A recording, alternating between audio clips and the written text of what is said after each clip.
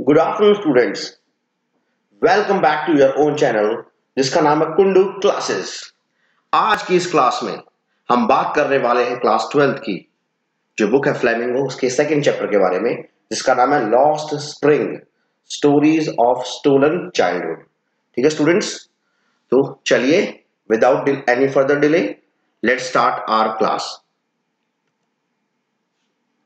तो देखिए स्टूडेंट्स यहाँ पर मैंने चार पिक्चर्स लगाई हुई है। देखिए स्टूडेंट्स ये पहली पिक्चर देखिए यहाँ पे आपको दिख रहे होंगे क्लाउड्स वगैरह और ये ट्रीज वगैरह दिख रही हैं ग्रीन ट्री दिख रही है आपको कितनी सारी।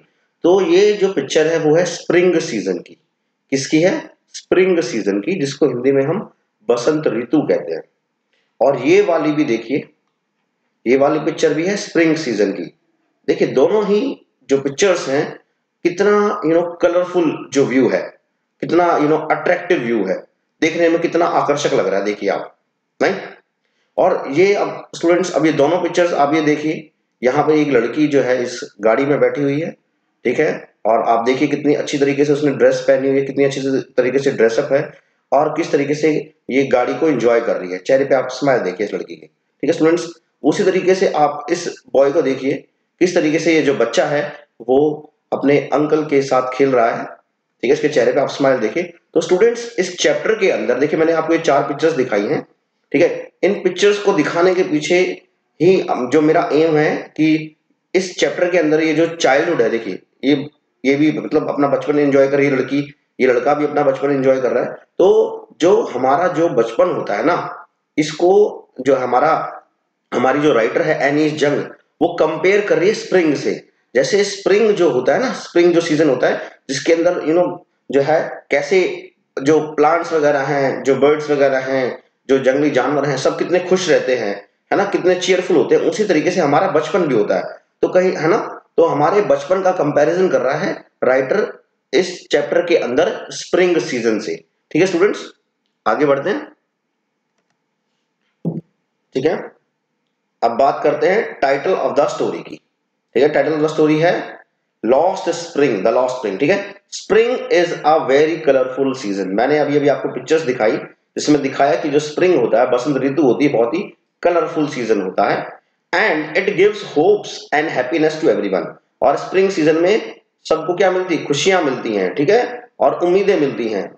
It is full of fragrance आपको पता है यू you नो know, पेड़ पत्ते है ना पेड़ पौधे बिल्कुल खिल जाते हैं उनके अंदर फ्रेग्रेंस आ जाती है, खुशबू आ जाती है और एक नई फ्रेशनेस देखने को मिलती है। It is also a season of renewal है ना? और जो स्प्रिंग सीज़न है, वो सीज़न ऑफ़ रिन्यूअल भी होता है, नई और ग्रोथ मतलब पेड़ पौधों पे नए नए पत्ते आते हैं, ठीक है? Similarly the childhood of a person is likened to spring उसी तरीके से एक बच्चे का जो बचपन होता है ना, वो एक इंसान का जो बचपन होता है, वो, है ना?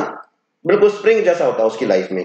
As it marks the beginning of human life क्योंकि बचपन से ही एक इंसान की जो लाइफ है वो स्टार्ट होती है it is full of hopes ये जो हमारा जो चाइल्डहुड है it is full of hopes उम्मीदों से भरा होता है एम्बिशन एम्बिशन होते हैं हमारे लक्ष्य है ना हमारे टारगेट खुशियों से भरा होता है जॉय से प्लेजर से आनंद से भरा होता है प्ले एंड हैप्पीनेस मतलब बच्चा खूब मज़े से खेलता है विदाउट मतलब केयर फ्री लाइफ होती है कोई टेंशन नहीं है खुशी से खेल रहा है बच्चा मतलब इंजॉय करता है but there are many children like Sahib ठीक है, हमारी इस जो कहानी हम पढ़ने वाले हैं, उसके दो पार्ट हैं। तो पहले पार्ट का जो मेन कैरेक्टर उसका नाम है साहिब तो बट लेकिन बहुत सारे बच्चे हैं, जैसे साहिब और Mukesh who do not experience this spring in their life लेकिन ऐसे बच्चे देखिए, अब ये जो बच्चा है, अब मैंने आपको, देखिए, ये पीछे वाली फ़ोटो जो दिखाई थी आपको, देखिए यहाँ पर ये जो बच्चे, एक तो ये बच्चे हैं। देखिए किस तरीके से अपना बचपन एंजॉय कर रहे हैं दोनों के दोनों।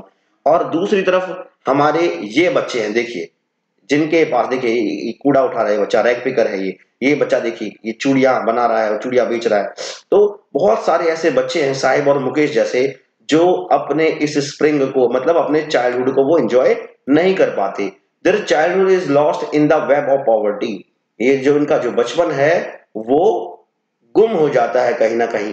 किस चीज़ में? वेब ऑफ़ पॉवर्टी वेब होता है जाल। और पॉवर्टी होता है गरीबी। गरीबी के जाल में इलिटरेसी इलिटरेसी होता है जब इंसान पढ़ता नहीं है ना, समझ लो इलिटरेट होता है, अनपढ़ होता है तो उसको कहते हैं इंग्लिश में इलिटरेसी तो इन बच्चों का जो बचपन कहीं ना कहीं गरीबी के अंदर और इलिटरेसी के जाल के अंदर फंस जाता है, कहीं गुम हो जाता है।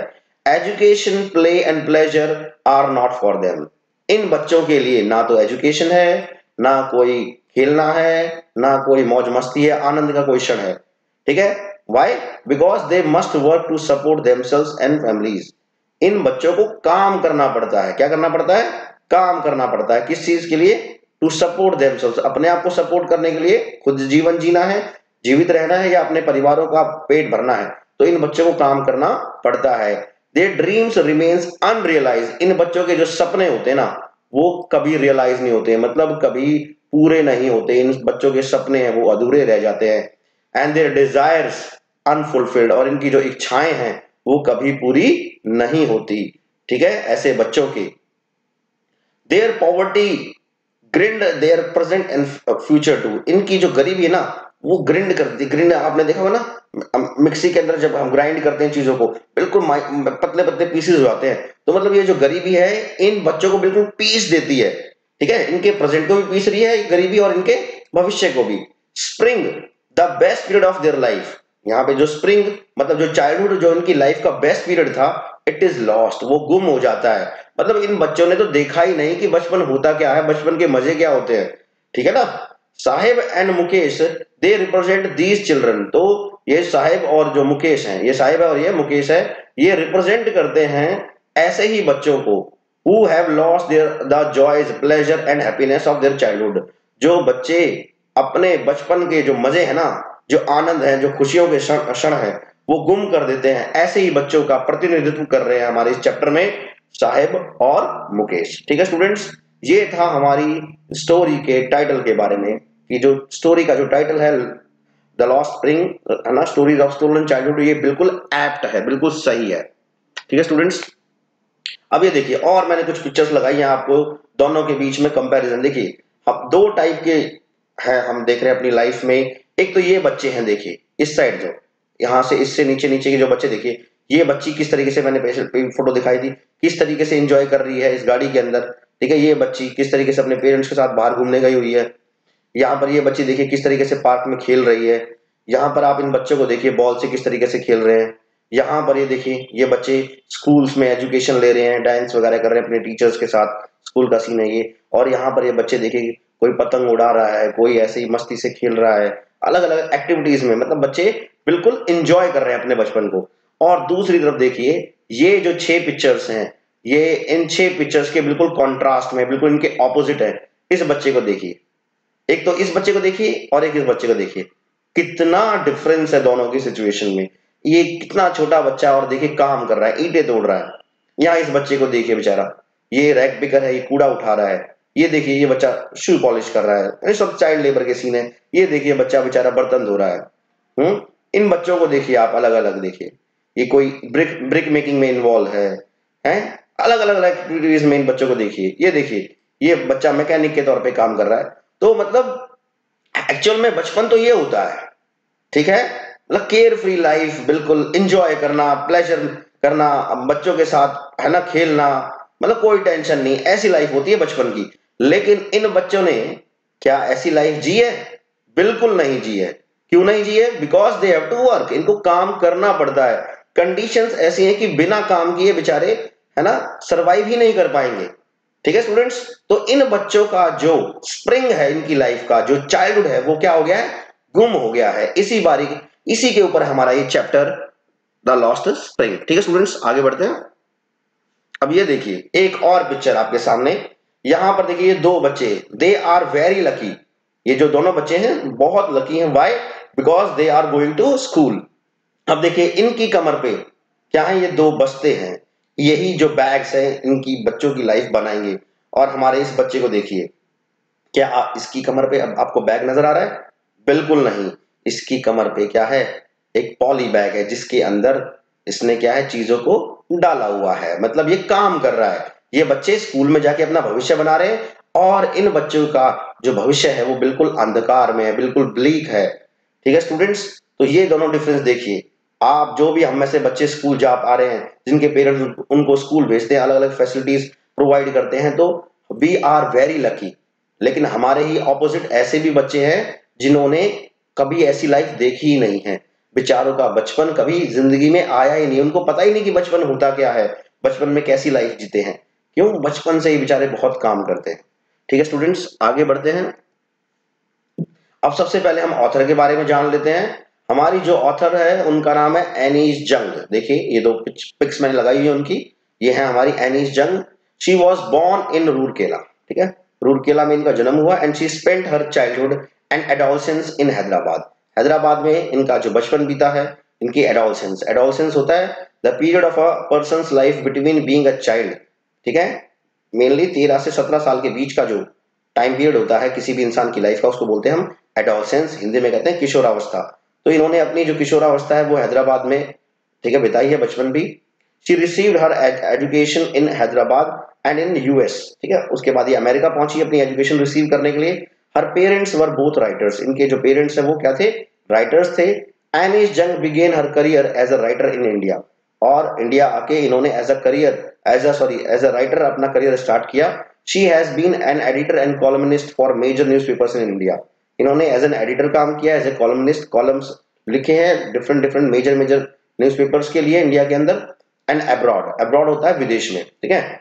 In other country and has authored several books और इन्होंने कई सारी बुक्स भी लिखी है students the following is an excerpt ये जो हमारा जो चैप्टर है, वो क्या है? It is an excerpt excerpt होता है short piece taken from a book ठीक है? इन्हीं की एक बुक है, नाम है उसका lost spring stories of stolen childhood तो उस बुक का एक छोटा सा पार्ट है। उस बुक से लिया गया है ये चैप्टर हमारा।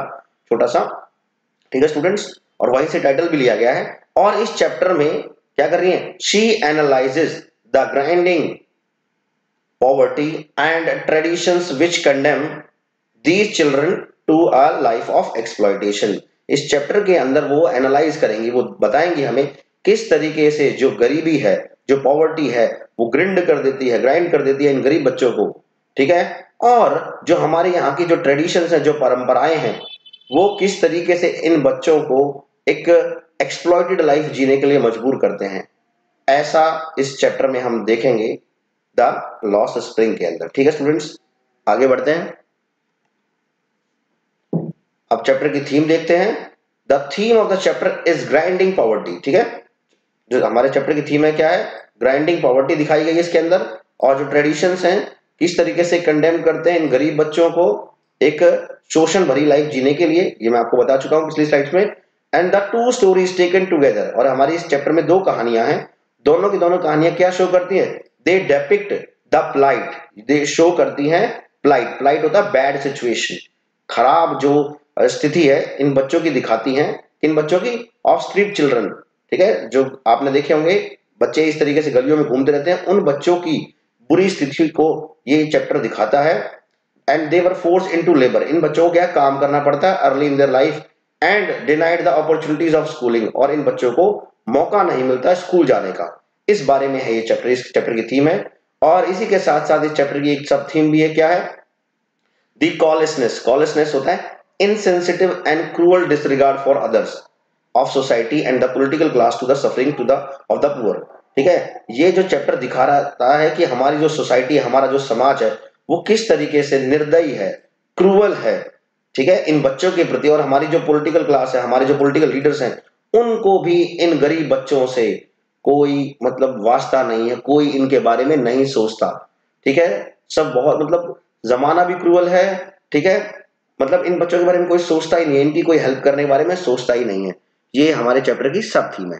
ठीक है स्टूडेंट्स अब स्टार्ट करते हैं अपनी जो फ़र्स्ट पार्ट है इस चैप्टर का वो। ठीक है, इस वीडियो में हम फ़र्स्ट पार्ट के बारे में ही ज़िक्र करेंगे। सेकंड पार्ट की मैं दूसरी वीडियो लेके आऊँगा।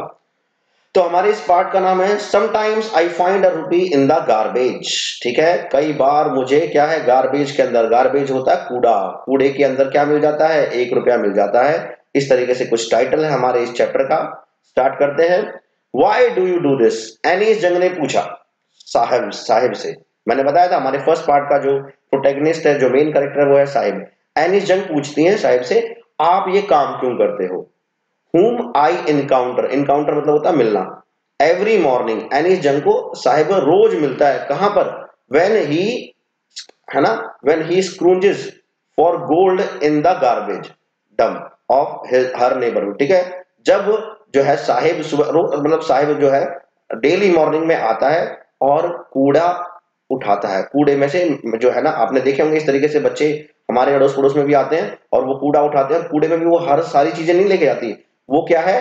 They you know hunt for gold ठीक है? अब यहाँ गोल्ड मतलब वैल्यूएबल चीज़ों से है। मतलब जो भी वैल्यूएबल चीज़ें इनको इस कूड़े में दिखती हैं बच्चे वो पिक कर लेते हैं, ठीक है? तो एनीस जंग साहिब को रोज देखती है अपने पड़ोस में कि वो गार्बेज डंप से गोल्ड को उठा रहा है।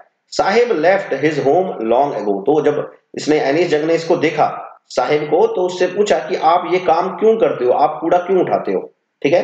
फिर राइटर जो है, हमें साहिब के बारे में थोड़ा और एक्स्ट्रा बता रही है। साहिब जो है, Sahib left his home long ago Sahib ने अपना घर बहुत टाइम पहले छोड़ा था। सेट एमिट्स एमिट्स होता है सिचुएटेड और लोकेटेड अमंग मतलब किसी के बीच में। The green fields of Dhaka जो साहिब है, वो कहाँ से बिलोंग करता है? ढाका से, ठीक है? और वहाँ पर ढाका के अंदर इसके ग्रीन फील्ड्स भी हैं हरे भरे खेत भी है साहिब के। His home is not even a distant memory मतलब ज़्यादा टाइम नहीं हुआ है साहिब को, ठीक है? ढाका से आए हुए, ठीक है? डिस्टेंट मेमोरी डिस्टेंट मतलब दूर की। मतलब इतना टाइम नहीं बीता और मेमोरी होती याददाश्त। मतलब इसकी यादों में, साहिब की यादों में अभी भी है कि बांग्लादेश में इनके हरे भरे खेत हैं। और वो ये छोड़कर साहिब कहाँ पहुँचा है? यहाँ पर इंडिया के अंदर। ठीक है तो देर वर मैनी स्टॉम्स अब ये क्यों ढाका से अपने हरे भरे खेतों को छोड़कर क्यों आए इंडिया के अंदर? अब ये क्वेश्चन एग्ज़ाम्स में भी आता है आपको ध्यान से सुनना है।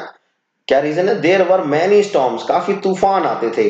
That swept away their fields swept away मतलब होता है अब तूफानों के साथ आपको पता है हमारा जो आ, मतलब ये जो बांग्लादेश है वो बे ऑफ़ बंगाल के पास है है ना? बे ऑफ़ बंगाल में वहाँ पर काफ़ी सारे जो है साइक्लोन्स वगैरह आते हैं और उसमें काफ़ी सारी बरसात होती है। तो इनके जो ग्रीन फील्ड्स है, उनको पानी बर्बाद कर देता है और इनके घरों को भी। हिज मदर टेल्स हिम ठीक है? तो इसने अपनी मम्मी से कभी पूछा कि, मम्मी, हम हमने ढाका क्यों छोड़ा? अपना घर क्यों छोड़ा? तो उसकी मम्मी ने बताया कि, बेटा, हमारे यहाँ काफ़ी तूफ़ान आते थे, जिसकी वजह से हमारे जो खेत वगैरह है, हमारे घर है, उनको काफ़ी नुकसान होता था। ठीक है? तो इस वजह से इन्होंने बांग्लादेश छोड़ दिया। That's why they left looking for gold in the big city और फिर ये कहा आगे? इस बड़े शहर में आगे, ठीक है? गोल्ड के चक्करों में मतलब अपना गुजारा करने के चक्कर में वैल्यूएबल चीज़ों के चक्करों में, और जहाँ ये अभी रह रहा है। I have nothing else to do he mutters अब देखिए, इसने क्वेश्चन पूछा था ना कि why do you do this है ना? एनी जंग ने पूछा था साहिब से कि भाई, आप ऐसा काम क्यों करते हो?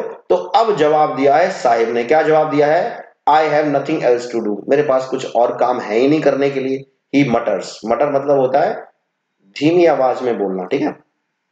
Looking away go to school अब जैसे उसने जवाब दिया कि भाई मेरे पास कोई और काम नहीं है एनिस जंग ने उसको बोला स्कूल जाइए. I say glibly glibly means without caring मतलब उसने सोचा ही नहीं इस बारे में realising immediately how hollow the advice must sound अब देखिए, दूसरों को सलाह देना, है ना? एडवाइस करना काफ़ी आसान होता है, ठीक है? दूसरे की स्थितियाँ हम नहीं समझते हैं। तो जैसे ही एनिस जंग ने इसको मतलब पहले तो पूछ लिया, भाई ऐसा क्यों करते उसने कहा कि मेरे पास कुछ और काम नहीं है। तो नेक्स्ट मोमेंट उसने कहा कि आप स्कूल जाइए, लेकिन बाद में उसको रियलाइज़ होता है कि उसकी जो एडवाइस है, वो क्या है? खोखली है हॉलो है। ठीक है ना? There is no school in my neighbourhood तो फिर हमारे साहिब का क्या जवाब आया? कि उसके पड़ोस में कोई स्कूल नहीं है। ये भी एक रीजन है इंडिया में। बहुत सारे बच्चे स्कूल ना जाने का, उनके आसपास में कोई स्कूल नहीं होता है। उनको काफ़ी ट्रेवल करना पड़ता है। When they build one I will go वो कहता है कि जब है ना सोसाइटी वाले गवर्नमेंट बना देगी तो मैं चला जाऊँगा।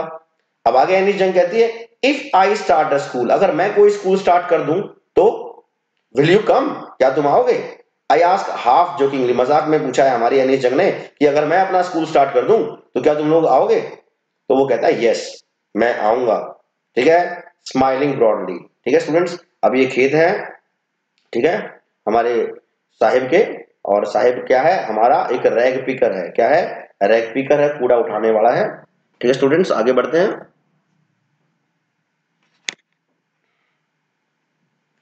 A few days later I see him running up to me और कुछ दिनों बाद एनिस जंग की फिर मुलाकात होती है साहिब से।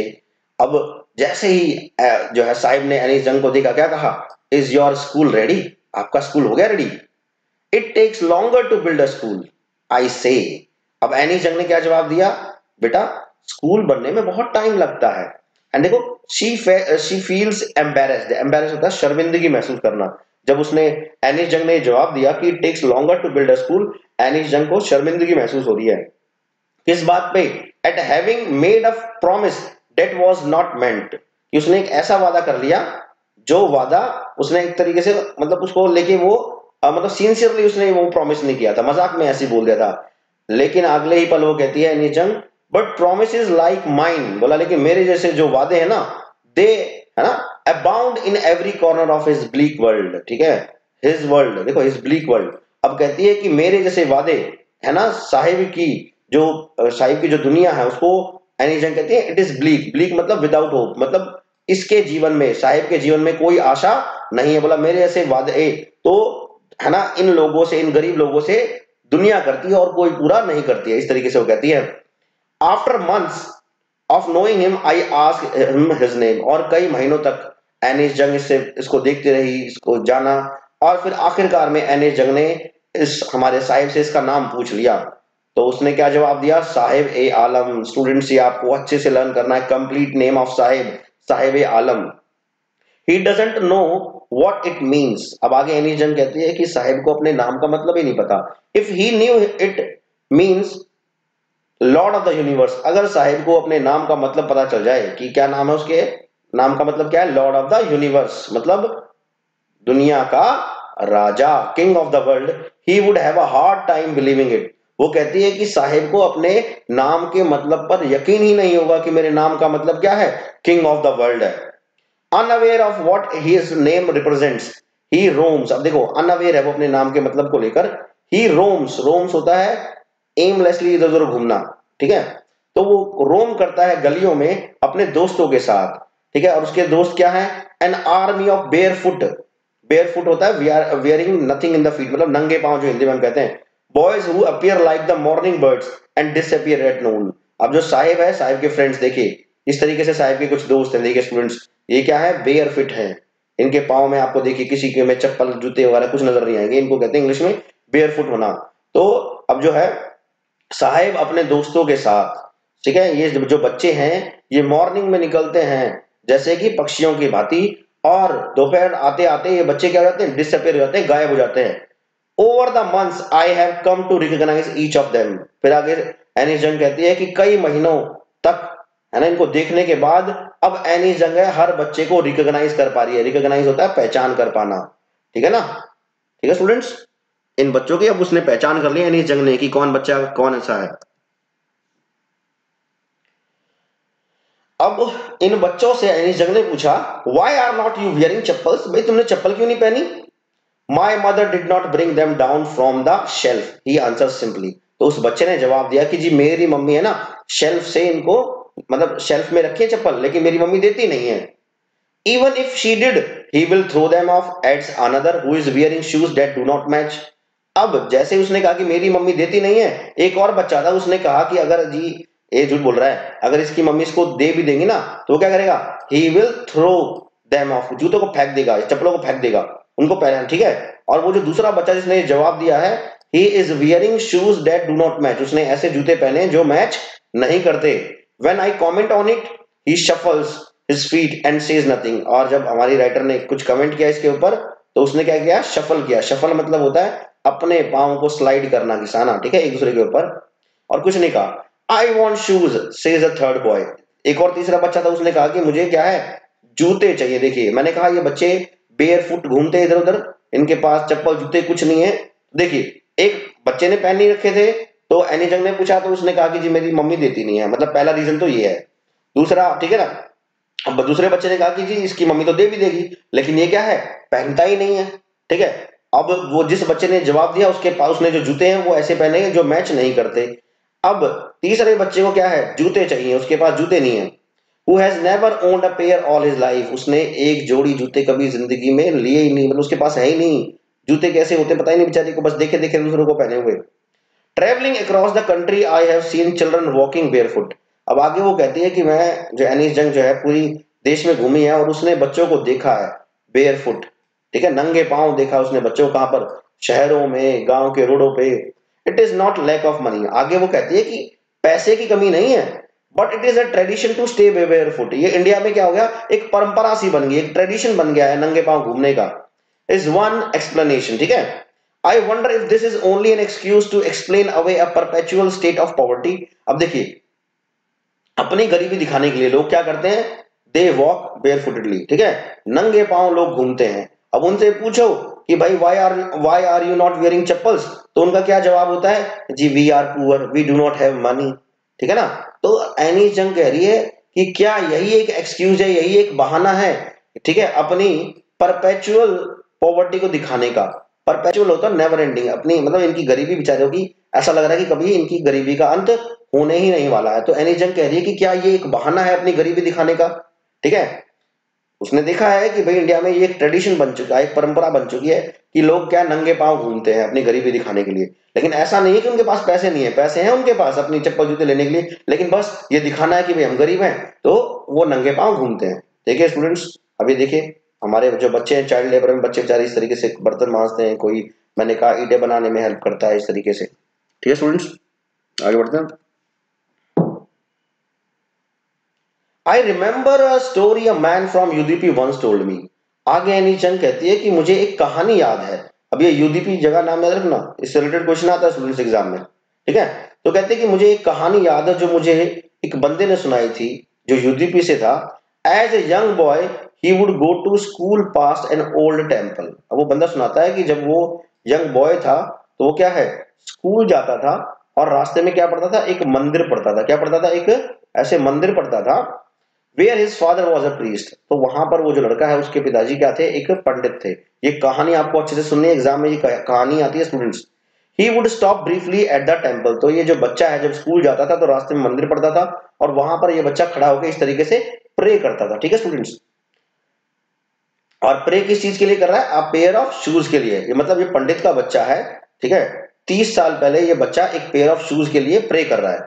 Thirty years later I visited his town and the temple और एनी चंद कहती है कि तीस साल बाद मैं, है ना, उस टाउन में पहुँचती हूँ, उस मंदिर में पहुँची which was now drowned in an air of desolation अब वो जो मंदिर है, वो ड्राउंड हो गया। ड्राउंड मतलब कवर्ड हो गया है। डेजुलेशन डेजुलेशन होता है स्टेट ऑफ़ बीइंग एम्प्टी मतलब वहाँ कोई आता जाता नहीं खास अब उस मंदिर में। In the backyard where lived the new priest अब उसी मंदिर के बैक यार्ड में क्या है? एक नया पंडित रह रहा है। There were red and white plastic chairs और बैक यार्ड में वो पहुँची एनी जंग तो वहाँ पर उसने रेड और व्हाइट कलर की क्या है? प्लास्टिक चेयर्स देखी उसने। A young boy dressed in a grey uniform और उसने वहाँ पर एक बच्चे को देखा, इस तरीके के बच्चे को देखा, जिसने क्या है ग्रे यूनिफॉर्म पहनी हुई है। और उसने क्या ही वॉज़ वियरिंग सॉक्स दिख रहे सॉक्स पहनी है शूज़ पहने हैं, ठीक है? And that boy arrived panting panting होता है, हाफते हुए, ठीक है? And threw his school bag on a folding bed जैसे ये बच्चा स्कूल अपने घर पे आया, ठीक है? मंदिर के बैक साइड में इस बच्चे ने क्या है? अब देखिए सॉक्स भी पहनी है, जूते भी पहने हैं और ग्रे यूनिफॉर्म में है और आती अपना बैग जो है फोल्डिंग बेड पर फेंक दिया है, ठीक है? Looking at the boy I remember तो जब एनिस जंग ने इस बच्चे को देखा तो एनिस जंग रिमेंबर कर रही है क्या? The prayer another boy had made ठीक है? तीस साल पहले ये जो लड़का जो प्रेयर करता था ना, इसके बारे में एनी जंग सोच रही है। ठीक है, जो देवी से उन्होंने प्रेयर मांगी थी, इस बच्चे ने क्या मांगी थी? When he had finally got a pair of shoes ठीक है ना? This boy used to pray for a pair of shoes तो उस प्रेयर को एनी जंग याद करती है, ठीक है? Let me never lose them देखो, अब ये तीस साल पहले मतलब जो पंडित का बच्चा था, वो एक जोड़ी जूतों के लिए प्रे करता था। और तीस साल बाद अब देखिए, अब जो पंडित का बच्चा है, उसके पाओ में जूते भी है और सॉक्स भी हैं। The goddess had granted his prayer ठीक है? गॉडेस ने इस पंडित के बच्चे की प्रेयर को सुन लिया है। मतलब उसको शूज़ वगैरह सॉक्स वगैरह मिल गई उनको। लेकिन young boys like the son of the priest now wore shoes देखो, अब जो यंग बॉयज़ हैं, पंडित के बच्चे जैसे वो क्या है? जूते सॉक्स वगैरह पहन रहे हैं। But many others like the rag pickers ठीक है? रैक पिकर्स मैंने बताया था, कूड़ा उठाने वाले। तो लेकिन बहुत सारे बच्चे हैं जो रैक पिकर्स हैं दे रिमेन शूलेस ठीक है? वो कहती है कि उसके पड़ोस में, उसके नेबरहुड में बहुत सारे ऐसे रैक पिकर्स हैं जिनके पाव में अभी तक मतलब आज से तीस साल पहले भी ये रैक पिकर्स ठीक है शूलेस घूमते थे, और आज भी इन रैक पिकर्स की लाइफ में कोई चेंज नहीं आया। ये आ, बच्चे आज भी बिना जूतों के, बिना चप्पलों के घूमते हैं, ये रैक पिकर्स ठीक है स्टूडेंट्स माई एक्वेंटेंस एक्वेंटेंस होता है कॉन्टेक्ट हिंदी में कहेंगे जान पहचान। जब एनी जंग की जान पहचान होती है, इन रैक पिकर्स से with the bare foot rag pickers it leads me to Seemapuri तो जो हमारी जो एनी जंग है, उसको सीमापुरी के बारे में पता चलता है। और सीमापुरी क्या है? It is a place on the periphery periphery बोले तो आउटर एरिया किनारा एज पे है दिल्ली के। मतलब दिल्ली का ही एक इलाका है सीमापुरी, जहाँ पर ये रैक पिकर्स रहते हैं, ठीक है? अब देखिए, ये जो दिल्ली है मतलब ये जो सीमापुरी है है तो दिल्ली का पार्ट लेकिन आगे हमारा राइटर राइटर कह रही है yet miles away from it लेकिन दिल्ली में रहकर भी ये जो जगह है सीमापुरी, दिल्ली से कोसों दूर है। ठीक है? मेटाफोरिकली मतलब कहने का मतलब ये नहीं है। मतलब जैसे हम जब भी दिल्ली का नाम लेते हैं, अगर आप बाहर जाके कहीं पर भी दिल्ली का नाम लो तो भाई Delhi is the capital of India ठीक है? भारत की राजधानी है। तो राजधानी है तो दिल्ली में सारी फैसिलिटीज़ आपको top class hospitals schools colleges आपको सारी फैसिलिटीज़ मिलेंगी। लेकिन सीमापुरी के अंदर इनमें से कोई भी फैसिलिटी नहीं है। ठीक है? दिल्ली का पार्ट होके भी दिल्ली से बहुत दूर है। मतलब बेसिक फैसिलिटीज़ ही नहीं मिल रही है यहाँ पर सीमापुरी के लोगों को। ऐसा कुछ हमारी एनी जंग कहना चाह रही है। Those who live here are squatters अब आगे एनी जंग कहती है, जो लोग यहाँ पर रहते हैं, वो लोग क्या है? स्क्वेटर्स हैं। स्क्वेटर्स मतलब a person who unlawfully occupies an uninhabited building और अनयूज लैंड मतलब कोई ऐसा इंसान जिसको कानूनन मतलब कानूनी रूप से वहाँ रहने की परमिशन नहीं है किसी बिल्डिंग में या ज़मीन को यूज़ करने की, लेकिन वो बंदा वहाँ रह रहा है। तो जो लोग यहाँ रह रहे हैं, वो स्क्वेटर्स हैं। मतलब इनके पास परमिशन नहीं है। वो केम फ्रॉम बांग्लादेश ये जो लोग हैं, ये बांग्लादेश से आए थे 1971 में। Saheb's family is among them Saheb का परिवार भी इन्हीं परिवारों में से एक है। Seemapuri was then a wilderness और जब ये लोग 1971 में बांग्लादेश से यहाँ पर आते हैं सीमापुरी में, उस टाइम पर जो सीमापुरी है, वो वाइल्डरनेस में थी। मतलब ऐसी सुनसान पड़ी थी, वीरान पड़ी थी। अनकल्टिवेटेड लैंड था मतलब घास फूस ऐसे ही मतलब कोई पूछता नहीं था सीमापुरी को। वहाँ कोई डेवलपमेंट का कोई वर्क नहीं था। इट स्टिल इज़ अब कहता है, आगे एनिजन कहते अभी भी सीमापुरी कुछ ऐसी है ऐसी है but it is no longer empty लेकिन अब क्या है, सीमापुरी खाली नहीं रह गई है। पहले वीरान पड़ी थी, कोई रहता नहीं था यहाँ पे। लेकिन अब क्या है, अब लोग तो रहते हैं। कैसे कंडीशन में रहते हैं? स्टूडेंट्स आपको बड़ी अच्छे से यह लर्न करनी है। इन स्ट्रक्चर्स ऑफ़ मड ठीक है? स्ट्रक्चर्स ऑफ़ मड में रहते हैं ये with roofs of tin and tarpaulin ठीक है? और जो छतें हैं, इन घरों की, वो क्या किसकी बनी हुई है? टिन की या तारपोलिन तारपोलिन बेटा एक टाइप का मटेरियल होता है, ठीक है? डिवॉइड ऑफ़ सीवेज ठीक है? और इनके अंदर, इन झोपड़ियों के अंदर, इन घरों के अंदर डिवॉइड डिवॉइड मतलब कमी होना, ठीक है? इनमें कमी है सीवेज की ड्रेनेज और running water live ten thousand rag pickers तो ऐसी कंडीशन में मतलब यहाँ पर नालियाँ वगैरह नहीं है, पानी जो निकलता है घरों से वो ऐसी रोड पे आ जाता है, गंदा पानी, ठीक है? रनिंग वाटर आ रही बात में कोई सीवेज वगैरह कुछ नहीं है यहाँ पे। और इनके जो लिविंग स्ट्रक्चर्स हैं तो वो मड का, देखिए, मड का वो स्ट्रक्चर्स में वो रह रहे हैं roofs of tin and tarpaulin ठीक है? तो यहाँ मतलब इन लोगों को बेसिक फैसिलिटीज़ है, वो नहीं मिल रही है। और लगभग ऐसी कंडीशंस में दस हज़ार रैक पिकर्स रह रहे हैं। They have lived here for more than thirty years देखिए। यहाँ पर रहते हुए इनको क्या है? तीस साल से ज़्यादा का टाइम हो गया है। और दे हैव है ना विदाउट एन आइडेंटिटी इनके पास क्या है? इनकी कोई पहचान नहीं है। विदाउट परमिट्स इनके पास परमिशन भी नहीं है। देखिए स्टूडेंट्स क्या गजब बात है। बिना परमिट के एक ही जगह पे तीस साल से ये बंदे रह रहे हैं। बट विद राशन कार्ड, लेकिन इनके पास क्या है? परमिशन तो नहीं है रहने की, लेकिन राशन कार्ड है। That gets their names on voter list और इस वजह से इन बंदों का नाम कहा है? वोटर लिस्ट में आ गया है। और उसी वजह से enable them to buy grain और जब वोटर लिस्ट में है, नाम है, इनके पास राशन कार्ड है तो इस वजह से इनको क्या है? राशन टाइम से मिल जाता है। ठीक है स्टूडेंट्स अब इन लोगों के लिए food is more important for survival than an identity इन लोगों के लिए इनकी आइडेंटिटी से, इनकी पहचान से ज़्यादा क्या इंपॉर्टेंट है? खाना। If at the end of the day we can feed our families and go to bed without an aching stomach we would rather live here than in the fields that give us no grain says a group of women in tattered sari when I asked them why they left their beautiful land of green fields and rivers. अब देखिए एनिस जंग ने, ठीक है, औरतों का एक group था, उससे पूछा कि भाई why they left their beautiful land of green fields and rivers बोला, आपका जो देश है, वहाँ पर आपके हरे भरे खेत है, नदियाँ हैं, आपने उनको क्यों छोड़ा तो क्यों छोड़ा? लैक ऑफ़ फ़ूड वो कहते कि हमारे लिए खाना ज़्यादा इंपॉर्टेंट है अपनी पहचान से। बोला, अगर at the end of the day हम अपनी फैमिलीज़ को फ़ीड करवा पा रहे हैं, खाना खिला पा रहे हैं, और सोने से पहले हमारा जो है पेट है, जो है, हमारा जो स्टमक है, उसमें एक नहीं हो रहा, उसमें दर्द नहीं हो रहा तो we would rather live here हम ऐसी जगह रहेंगे जहाँ पर, ठीक है, हमें, हमारे खाना मिले। ना कि ऐसी जगह कहने को तो भाई हमारे खेत है जिनमें हमें कोई ग्रेन नहीं मिलता। ठीक है ना? मतलब खेत तो है इनके पास, लेकिन इनके खेतों में कुछ उगता ही नहीं है। वहाँ से इनको कोई दाना, कोई खाना मिलता ही नहीं है। तो खाने के चक्करों में ये इंडिया आ गए हैं। अच्छे, ठीक है? और ये कहते हैं इनके लिए खाना ज़्यादा इंपॉर्टेंट है इनकी आइडेंटिटी से, ठीक है? Wherever they find food देखो, जहाँ पर भी इन लोगों को खाना मिलता है दे पिच देयर टेंट्स वहीं पर अपने टेंट गाड़ देते हैं। That become their transit homes और यही जो इनके टेंट है, वो इनके टेम्परेरी घर बन जाते हैं।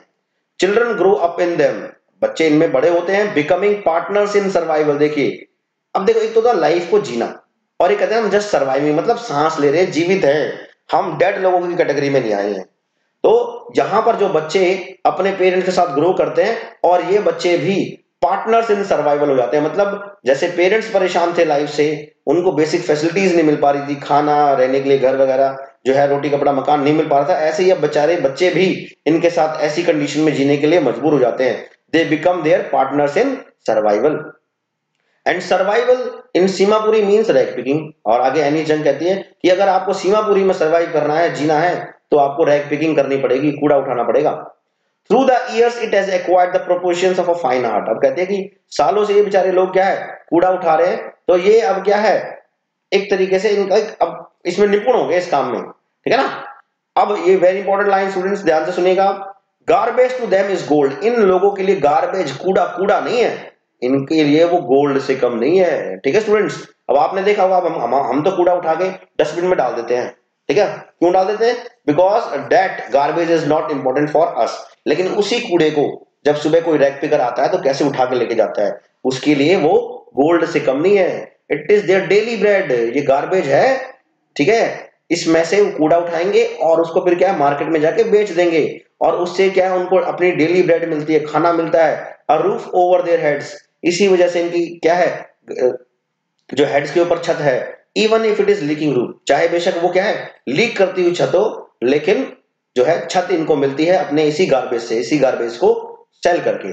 But for a child it is even more देखिए, बड़ों के लिए क्या है, जो गार्बेज है it is their daily bread ठीक है? लेकिन बच्चों के लिए क्या है इट इज़ इवन मोर ठीक है गार्बेज जो है वो और भी कुछ बढ़ के है। ठीक है स्टूडेंट्स अब देखिए, ये बच्चे जो आपको यहाँ दिख रहे होंगे स्क्रीन पे, किस तरीके से कंडीशन हैं, गरीब लोग किस तरीके से रहते हैं। ठीक है, ऐसा खाना तो बेचारों कभी नसीब ही नहीं होता। ठीक है? I sometimes find a rupee even ten rupee note Saheb कहते हैं। आगे साहिब कहता है कि उसको कई बार एक रुपया मिल जाता है, कई बार क्या है, दस रुपए भी मिल जाते हैं। ठीक है? हिज आईज लाइटिंग अप ये जब पैसे की जैसा ज़िक्र करते हैं तो साहिब की आप क्या है? चमक उठती है, चमक आ जाती है। When you can find a silver coin in heap of garbage आगे साहिब कहता है, जब आपको कोई सिल्वर कॉइन मिल जाए हीप हीप होता है ढेर, है ना, कूड़े के ढेर में यू डोंट स्टॉप स्कूलिंग ठीक है, आप ढूंढना बंद नहीं करते हो। Why for there is hope of finding more आपको उम्मीद है कि और भी मिलेगा, क्या पता? It seems that for children garbage has a different meaning ये आता है स्टूडेंट्स क्वेश्चन एग्ज़ाम में, आप देख लेना। बच्चों के लिए गार्बेज का अलग मतलब है और बड़ों के लिए अलग। ये क्वेश्चन एग्ज़ाम में आता है तो please take listen it carefully it seems that for children garbage has meaning different from what it means to their parents देखिए, ऐसा लगता है जैसे बच्चों के लिए गार्बेज का जो मतलब है वो अलग है और बड़ों के लिए अलग है। अब देखना, बच्चों के लिए क्या मतलब है? For the children it is wrapped in wonder बच्चों के लिए जो गार्बेज है, वो क्या है? किसी वंडर किसी सरप्राइज़ से कम नहीं है। ठीक है? और for elders it is a means of survival बच्चों, बड़ों के लिए क्या है? गार्बेज मीन्स ऑफ़ सर्वाइवल है। और बच्चों के लिए it is wrapped in wonder ठीक है, अब रैप्ड इन वंडर क्या है? बच्चे रोज जाते हैं। बच्चे इस उम्मीद में नहीं जाते कि गार्बेज उठा के और इनको क्या पैसे मिलेंगे, उससे खाना खाएँगे। बच्चे इस उम्मीद में जाते हैं कि देखते हैं यार, कल तो यार, चल यार, एक दो रुपए मिले थे, आज क्या पता दस का मिल जाए, हैं? या उससे भी ज़्यादा मिल जाए। इस तरीके से, ठीक है? सरप्राइज़ होता है गार्बेज इन बच्चों के लिए। लेकिन बड़ों के लिए मीन्स ऑफ़ सर्वाइवल है।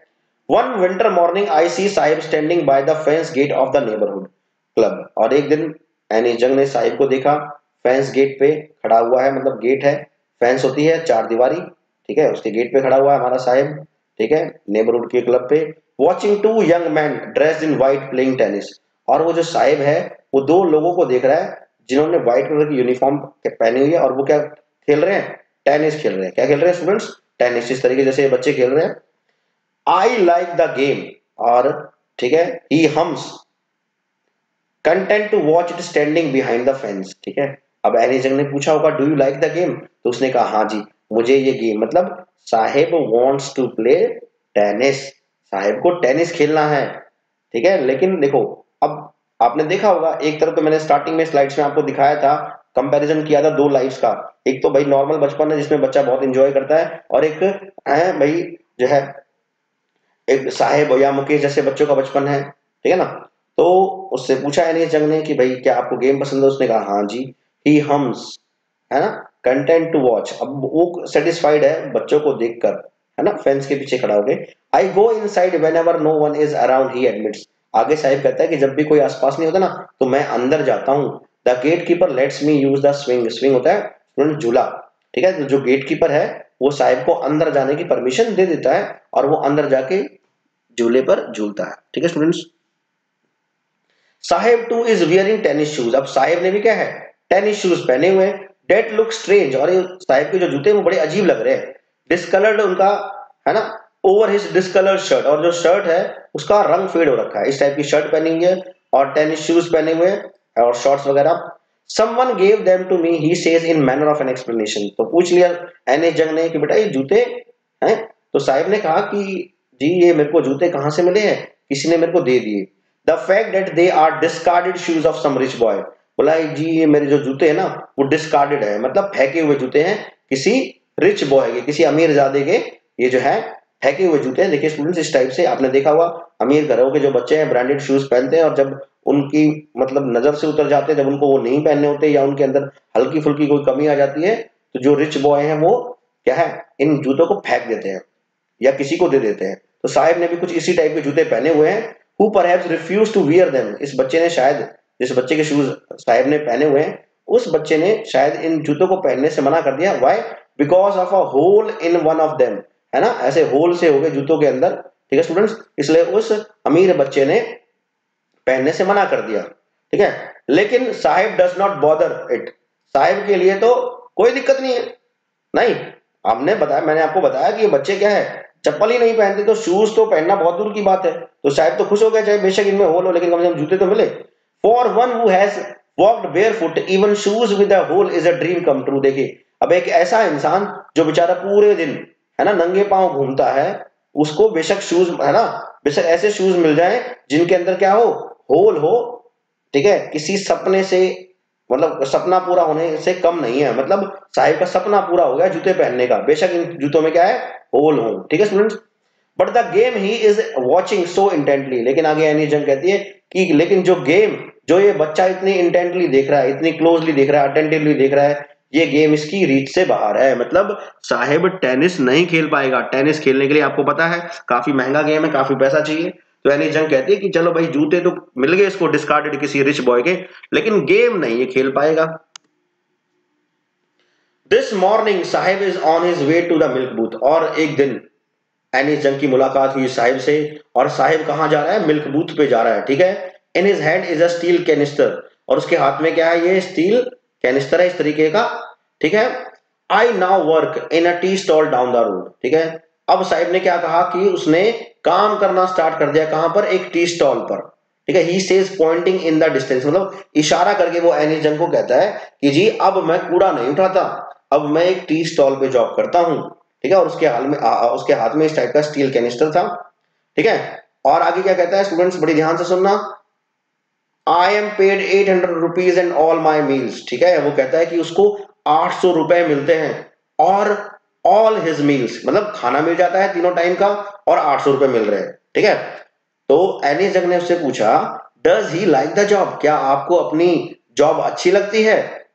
हिज फेस अब देखिए ध्यान से अब मैंने बताया ना, देखो, इन बच्चों के लिए सर्वाइवल बहुत इंपॉर्टेंट है।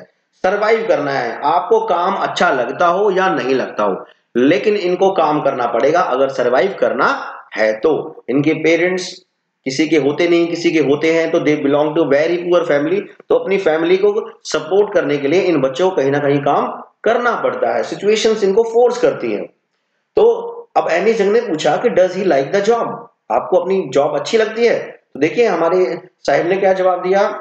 His face I see has lost the carefree look अब देखिए, उसके चेहरे का जो केयर फ्री लुक था पहले का, वो क्या है? चला गया है, कहीं गुम हो गया। इसका मतलब क्या है? साहेब साहेब जो है, वो अपनी जॉब को एंजॉय नहीं कर रहा है, उसको लाइक नहीं कर रहा है। लेकिन मैंने बताया ना, जैसे कि मजबूरियाँ हैं, काम करना पड़ेगा। ठीक है? अब आगे एनी जंग कहती है द स्टील कैनिस्टर ये जो स्टील कैनिस्टर है it seems heavier than the plastic bag Saheb कहती है कि ये जो स्टील कैनिस्टर है, ठीक है, ये भारी है उस प्लास्टिक बैग से। ठीक है, अब यहाँ पर भी देखिए फिगरेटिव लैंग्वेज है। कहने का मतलब वैसे तो भारी है ही, लेकिन देखिए, पहले क्या था? साहेब के पास ये प्लास्टिक बैग था। ठीक है he was free to move anywhere at any time है ना? साहेब किसी के अंडर काम नहीं कर रहा था।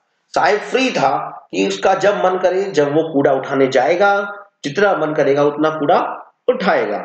ठीक है स्टूडेंट्स और वैसे भी ये लाइट था in comparison in comparison to this steel canister ठीक है स्टूडेंट्स सो एनिजन कहती है कि ये जो कैनिस्टर है, ये एक तरीके से रिस्पॉन्सिबिलिटीज का बोझ है।